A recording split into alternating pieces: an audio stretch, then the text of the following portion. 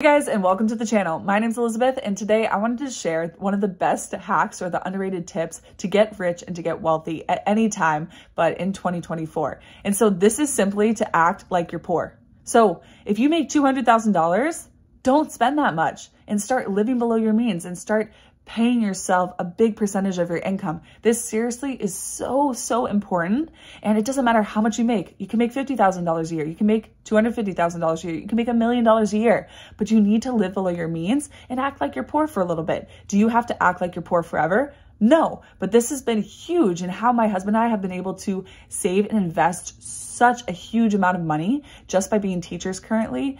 And it is incredible. And so I'm going to share some tips on this that could hopefully help you to act poor and to build a ton of wealth for yourself. And then eventually you can live that rich and that free life that you want to.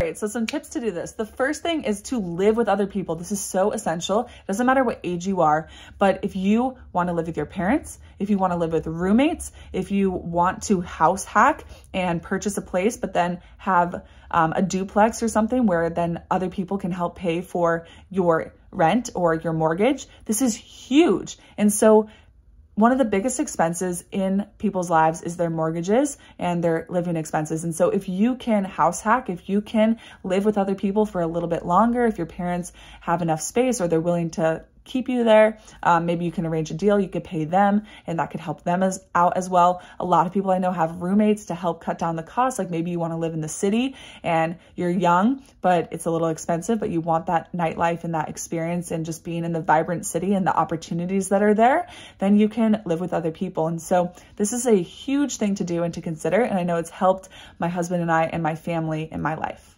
Number two, take a period of time, decide a period of time, and just grind and sacrifice. And so you'd be surprised what you could do if you're willing to go six months, we're going to cut back on this, or we're not going to do this, and we're going to just go for it and try to build money. For example, I didn't buy clothes for like two or three years.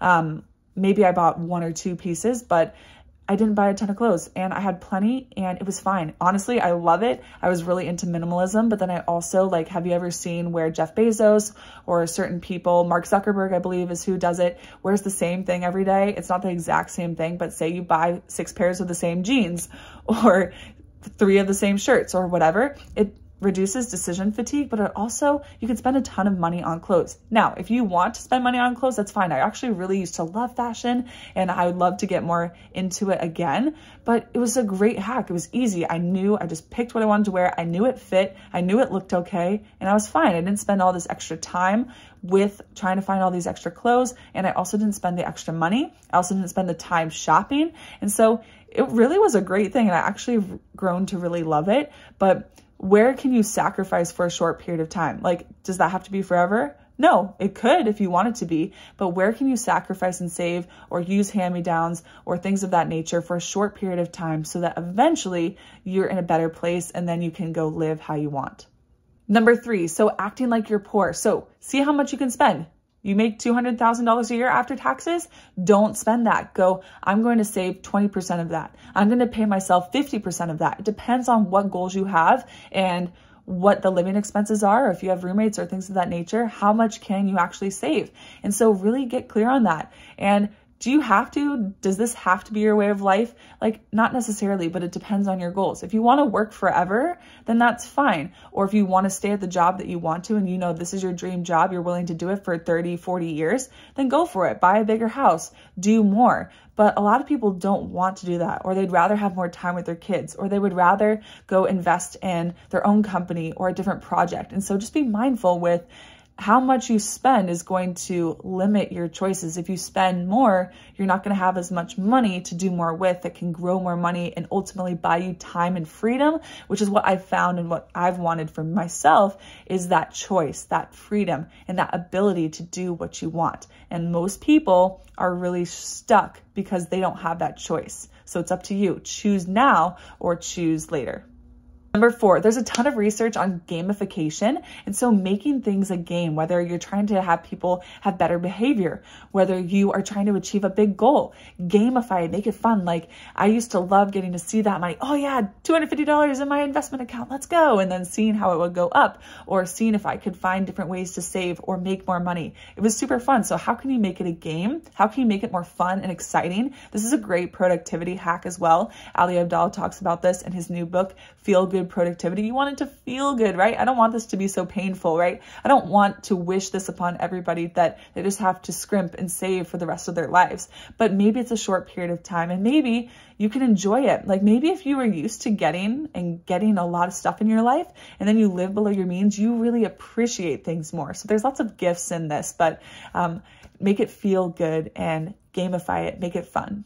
Number five, something that's helped me is to run the calculation. And so if you want to live a certain type of life, right, you decide the life you want to live and then see what it's going to take to get there. Run the calculation. If I save, if I live below my means, if I act like I'm poor for a little bit, what am I going to get later? I know we are not guaranteed another day. And so a lot of people just want to live in the moment, but hopefully we're all guaranteed a beautiful long life and you will live a beautiful long life. So you do want to prepare for it. At least that's my belief.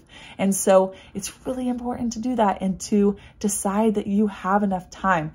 And so run the calculation and say, if I save for this amount of time or if I invest this much every single month and I live below my means that I'm going to get here and decide if that's worth it to you or not. So run those calculations, actually crunch the numbers. Um, it can be a huge, huge tool in your life to actually take a look at it. Number six is to decide what you value and what you want. And so a lot of times we're just shown the American dream or we're shown what life we should live or we see how our parents lived and we either go, I don't want to live like that or yeah, that's really cool. I really liked how I grew up. But then you have to decide what do you actually want? Do you want peace of mind? Do you want to live in a nice area? Do you want to be stressed? Do you want to have to actually spend time with your kids? What do you want? And then you can design your life according to that. And then you can choose to spend your money according to those guidelines and values that you have.